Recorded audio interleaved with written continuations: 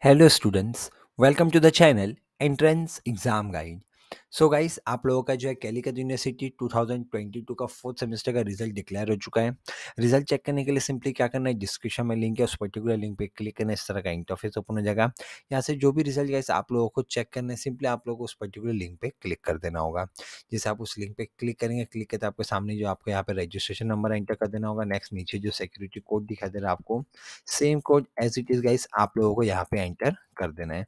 जैसे आप लोग सेम डिटेल्स एंटर कर लेंगे डिटेल्स एंटर करने के बाद गाइस आप लोगों को यहाँ पे गेट रिज़ल्ट पे क्लिक करना है एंड आप लोगों का रिज़ल्ट आपके सामने डिस्प्ले हो जाएगा।